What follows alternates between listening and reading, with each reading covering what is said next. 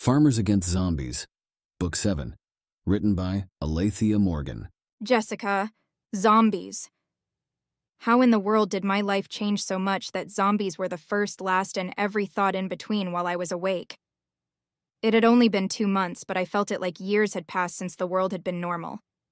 I honestly wasn't even sure there was something that could be considered normal anymore. My life and farm had gone from being just a small place for me and my two kids to the head farm operation for the entire area. Most of that was due in part to my recently discovered older sister Trish and her family. They'd shown up at the start of the zombie scare and brought ex military guys with her for guards. Trish hadn't even known that her husband was working for the military, which is why we'd fared better than some of the other farms when the apocalypse hit. The zombies had been few and far between but as the cities were taken over by the dead, more were headed out to the countryside. That's where I was headed this morning. There had been an alert that a large group from one of the major highways had veered off and could possibly come our direction. I still wasn't sure how I'd ended up as one of the leaders in this brave new world, but here I was, driving a truck out to see how our wall to keep the dead out was coming. If this horde was as large as the scouts were saying, then I wasn't sure that our partially built wall was going to do anything special. My truck bounced along the empty road until I hit the area where it came closer to the edge of the highway. We'd just decided that we needed something to keep out the dead, but other people as well that might try to steal our livestock or vegetables. Unheard of only weeks before, the end of the world was making those left behind bolder and taking whatever they wanted. No one was even trying to be moral or have ethics anymore. We weren't going to survive the end of the world if there wasn't some sense of order for those left behind. A set of woods, or forest as some would call them, thinned out as the highway drew closer. How's it looking? I questioned Dutch, who'd been sent to meet me at the clearing. Well, he pointed toward the wall that was barely visible from our side and walked toward the outpost up in the tree. You can see from up there about how far away the horde is from catching up to us. Hmm. I gazed up at the tall ladder that I needed to climb. Guess it was now or never, I thought with a sigh. Slinging the gun I always carried with me over my back, I used the sturdy rungs to make my way up to the top, ten feet off the ground.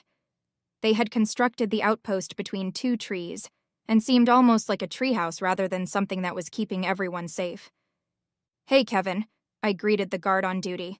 Looks like you've got yourself a pretty nice place here. They had put a mattress on top, along with chairs and a small table. They rotated with at least two people up there at all times so one could sleep and the other could stand watch. Ms. Jessica, glad you could come here to see it for yourself. Kevin handed me a pair of binoculars.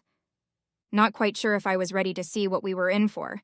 I lifted the binoculars and easily found the group of dead making their way in our direction. Is there any way that they'll pass us by? I couldn't estimate how many were in the group, but it was several hundred by the looks of it. Not really, ma'am. This part of the highway is pretty straightforward, and with woods on both sides, it keeps the main pack to the road. Dutch shook his head in frustration. Could we set fires in batches so that they'll keep walking toward them instead of stopping in the woods? I wasn't sure if it would hurt the roads, but it was a chance that might have to be made. We couldn't handle that many dead all at once. Might be a plan. Kevin stroked his beard thoughtfully. Do you want to kill some while we're at it? That would be nice, but I'm afraid that the noise of gunfire would just draw them toward us, and we want to make sure they keep walking. Arrows might work. Not sure that we have enough that could actually kill them, though. Dutch sounded doubtful about the logistics involved. We can set the fires. Wait until they're close enough and take out the first wave that makes it past the fires. Then we'll jump in the truck and race to the next fire. It will keep us ahead of them and help to thin them out a little in case they come back in this direction. My head had nodded in approval of my plan. It wasn't perfect, but nothing was going to be at this point. How long is the wall that we do have up? I'd come out to the last outpost in this direction. Not far yet. Two miles, I believe. He pointed to where I could see what I thought was the end of the wall. You all have done amazing in the past few weeks. Another six months and we won't have to worry so much about this kind of thing. But for now, we'll try to come up with a plan to keep them from coming through our defenses. I handed the binoculars back to Dutch and climbed down. Thank you for working so hard on all of this. It means a lot to those of us behind the wall. Dutch just nodded in acknowledgement as my head disappeared through the floor. There were two other groups that were working on building walls to keep out the dead on the other side of the farms. We had lucked out with a natural cliff in the third area, so unless these things started climbing, we were safe. We were going to have to move some of our extra people over in this area to help us be able to keep the woods clear of any stragglers that might decide we were their next meal. I'd just made it to the truck when my radio crackled. Earth to Jessica. This is Jessica over. A smile crept onto my face as I pictured the tall hunk that was speaking to me. We've got a problem. How close are you to paradise? Each lookout had a code name just in case someone was listening to our radio calls. There was a group that hadn't been thrilled when we'd rescued people from being their work slaves. I certainly hoped that this wasn't related to a problem with them. About 10 minutes away, I can meet you there shortly. Great, see you in a few, over and out.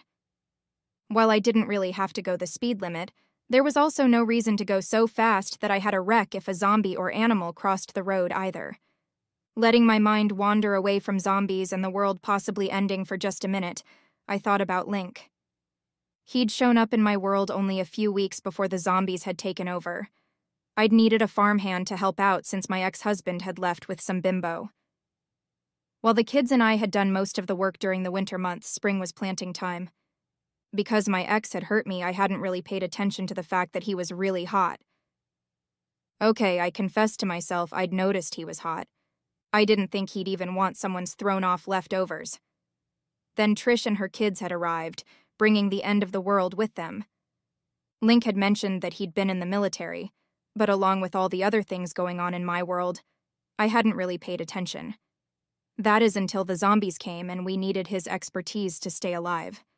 I still wasn't sure if I'd moved too fast when we'd stolen a few moments for a kiss. Now, I felt like he was my rock during this crazy thing with the undead, or the semi dead. I really hoped that it was the real thing, and not something that had happened only because we might be dead in days or weeks. The pull off for the Paradise Lookout was just ahead through the trees. I wasn't sure that I could handle more problems, but the apocalypse kept giving them to me. With a fortifying deep breath, I turned the truck off and pasted a smile on my face as I opened the truck door. Oh, good, you're here. Dana breathed in relief, motioning me forward toward the Outlook station. Paradise was situated on the top of the hill overlooking the cliff and the front edge of where we'd have zombies coming toward us from the other direction. If you were on the back side of the lookout, it appeared to be the perfect site to put up your feet and enjoy the view. Unfortunately, most of us didn't have that kind of time or the luxury these days. What's up? I hurried up the staircase to the house that had been built on the cliff. We'd made a few improvements, but other than running water and using the solar panels for energy, this had been ready for us to move people in immediately. Dutch showed you the horde coming from the north, right? Link ran a frustrated hand through his hair. Yes, it's going to hit in the next two to three days if they keep up the same pace. Why? I stood next to him, but was careful not to get too close. We'd tried to keep a few boundaries in place so that people didn't accuse of us being distracted. Here, he thrust the binoculars into my hands, and I turned my attention toward the south corner where a group of Zits zombie infected things were gathering. Does this kind of seem deliberate? Someone is trying to come at us from every side. Link shook his head, unhappy with the thought. Is it the group that we rescued all those people from? I scanned the surrounding area for other signs of life, but the only thing moving was the group of zombies that could be seen through the trees gathering in the small little valley at the foot of the mountain. Can't be sure, of course, but it's looking that way. Link lowered his voice, so that I was the only one that would be able to hear. We're screwed. They can't. These guys show they had a much bigger network than we'd thought. They seem to be able to spring from the woodwork, and if we get attacked on multiple fronts, there's no way we won't lose people. We're spread too thin. Link took the binoculars from me and took another worried scan of the area. If it had been a few weeks or a month later, we would be prepared. As it stands, all the newcomers aren't ready to fight for us, and I don't want to ask them to. We could have a horrible situation like the Jacksons did and lose one of our own to a traitor. His frown grew. It's not something I'm willing to chance. I understood where he was coming from. Our newest friends had lost someone while they were attempting to rescue the captive group from the makeshift town. Someone had come up during the night and cut off her head, leaving her behind to attack those in her own camp. It wasn't something I would wish on my worst enemy, much less on such nice people as the Jacksons. They'd been through a lot the last few weeks, but then again, so had we. Link's own mother had gotten sick and suffered a bite from her boyfriend. He'd had to put her out of her misery. Not a fun future if these guys attacked us. So, what are our choices? I noticed the group of people that lived here were huddled together, murmuring, Be prepared to lose some people. His words sent a chill down my spine as I realized he was speaking from experience. Craptastic, I muttered. He was right. We were going to lose people, and we'd been lucky up to this point that there hadn't been more losses than right at the beginning. War comes with an acceptable loss rate. The only problem is that these are people we care about, and losing any of them isn't something that I'm willing to have happen. A scream rent the air, and we turned to look at where Dana was pointing down in the valley. What looked like small little tanks were assembling along the road that would lead to our newly fenced area. Tanks? How can we defend against that? The question hung in the air as if it was also afraid of the answer.